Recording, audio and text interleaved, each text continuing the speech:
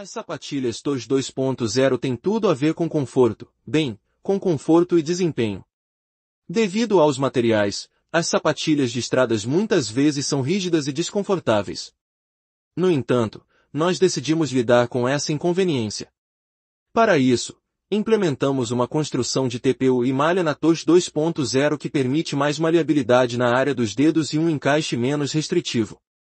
A parte superior é então combinada com nossa sola de carbono FECT de rigidez média e um calcanhar e dedos de borracha para conferir o nível perfeito de tração fora da bike.